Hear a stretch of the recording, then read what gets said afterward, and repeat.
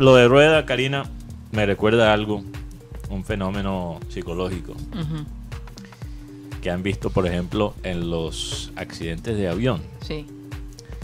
A veces los accidentes, los aviones, tú sabes, cuando están sobre el mar y se van a estrellar con el mar, a veces hay la oportunidad de, de tirarse del avión al agua con, ¿cómo se llama eso? Eh, Paracaídas. paracaídas. Salvavidas. No, y No, y salvavidas. salvavidas también. Salvavidas sí, es también, pero con para, paracaídas.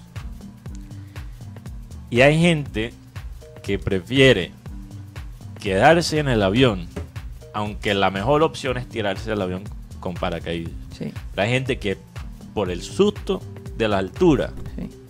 prefiere quedarse en el avión y morir y hundirse en el mar.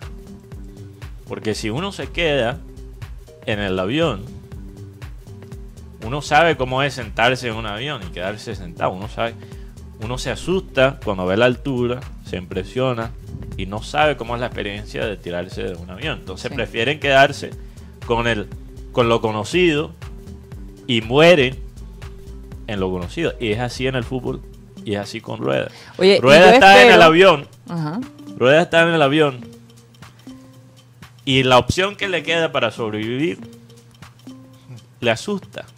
Pero es la única opción que le queda. Yo te digo Y hasta ahora Rueda prefiere quedarse en el avión y hundirse con el avión en el mar. Eh, eh, en lo- Así lo siento ahora. en lo- y, y en lo- colocándose el el, chaleco. el chaleco. Eh, Y los tiburones ya encima de...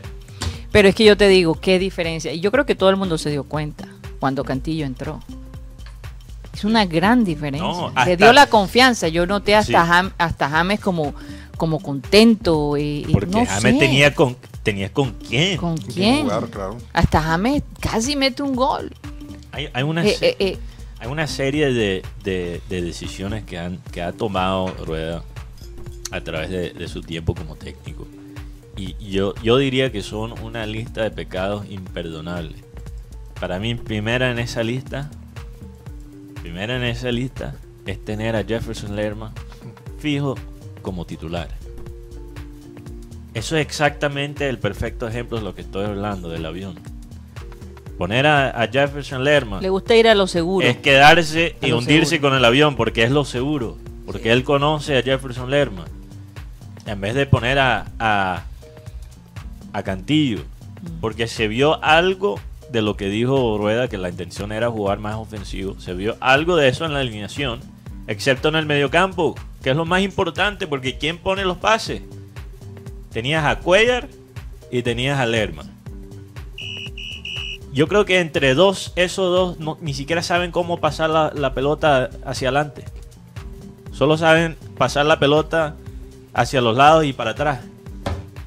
Y Lerma, de vez en cuando, con su falta y chocones, y Cuellar también.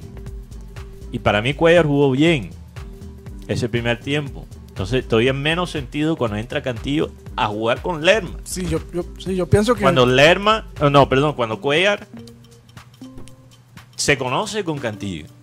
Ellos no jugaron juntos. No, no, no. Ah, Eh, bueno, no jugaron Con juntos. Cantillo llegó Pero un todavía- año después. Todavía vienen de la misma, de la misma masa. Pero la pregunta que yo me hago es, bueno, respetando el concepto de Mateo sobre el tema de Cuellar, para mí Cuellar es un jugador que también tiene pase, lo que pasa es que lo están usando mal a Cuellar como tal. Cuellar no es un volante de marca de esos pegadores solamente, sino que Oye, pero es que esa historia yo la he escuchado miles y miles de veces. No, que el técnico lo está usando mal, que esa no es la posición que el hombre juega.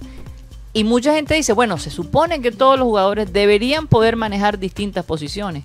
Pero ¿por qué, por qué ensayar cuando podemos ir a la fija? Es que es como sentido común y no sé qué pasa con los técnicos que no tienen ese, esa perspectiva. Lo otro, Karina, para mí lo que más le ha faltado a la selección, y es la razón que tenemos cinco partidos sin gol. A mí hasta se me ha olvidado cómo celebrar un gol de Colombia. Hace rato. Cuando meten un gol, la próxima vez que meten un gol, ni siquiera voy a saber cómo celebrarlo.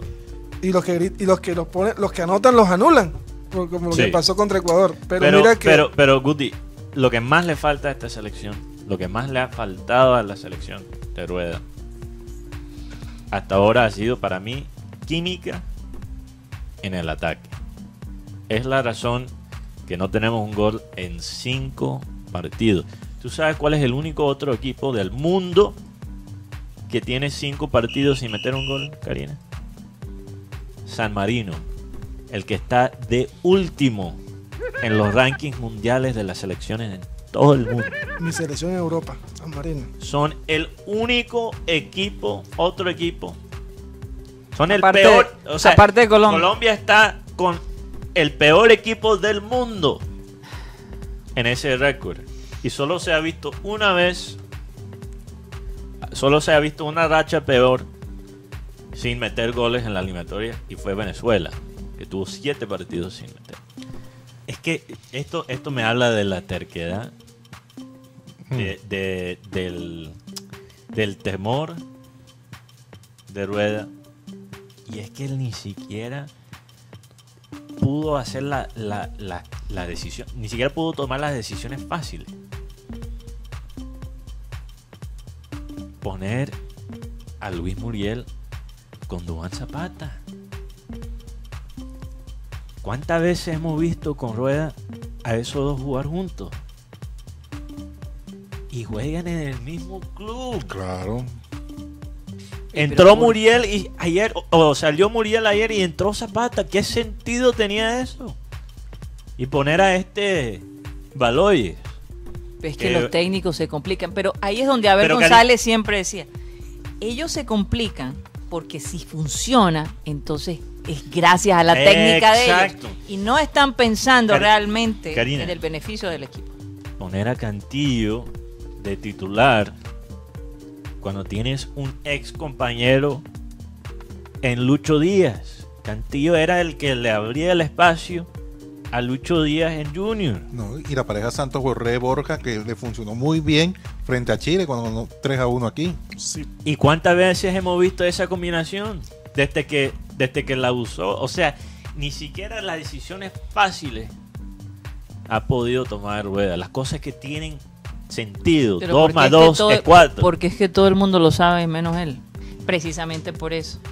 Porque él quiere que se reconozca. Esa es mi No, conclusión. porque Él es que hay que, hay- él quiere que se reconozca que la técnica de él es la que funciona. Exacto. Es como si para él fuera un insulto, una ofensa usar las ideas de otros técnicos. Es que él tiene. Eso es lo que iba a decir, Guti. No, que él tiene una espinita. Que fuera del Como la do- canción. del Hay una 2006. canción que dice así, que tiene una A él lo sacan por un punto. Sí. Entonces ahora él quiere demostrar que con su esquema, con su fútbol, con sus jugadores, va, va a clasificar y que fue un error del técnico de, la- de la federación Total, sacarlo. Gracias a Dios que, que me recordaste de eso, Guti, porque esto no lo dije cuando se contrató a, a Rueda, porque quería, quería darle la oportunidad por lo menos. Porque Rueda me preocupó desde el primer día y los que nos escuchan todos los días lo saben, Mm. que siempre he tenido mis dudas de Rueda. Pero lo que yo sentí cuando se anunció Rueda como técnico es que lo contrataron por piedad. ¿Dónde carajo has escuchado que hayan contratado a un técnico por no clasificar al mundial? Ay, pobrecito Rueda, no clasificó para el 2006. Hay que darle otra oportunidad. ¿Dónde has escuchado esa mentalidad Mateo, es que realmente cuáles eran las opciones. ¿Dónde has Mira, la única vez que yo he visto una selección seria en, en, en este continente, por lo menos en mi vida, que no es tan larga, les recuerdo que solo tengo 24 años. 25, ya cumplí los 25. Uf, Oh my God. me duele ese, ese año. Son esos días que Me duelen, me duelen. Eh, la única vez que lo he visto fue con Argentina, con Maradona. Que le dieron el trabajo a Maradona de la selección casi como de piedad. Pero, encima. pero es Maradona. y clasificó. Clasificó. Esto es Rue- Rueda. Le dan el trabajo porque no clasificó en el 2006.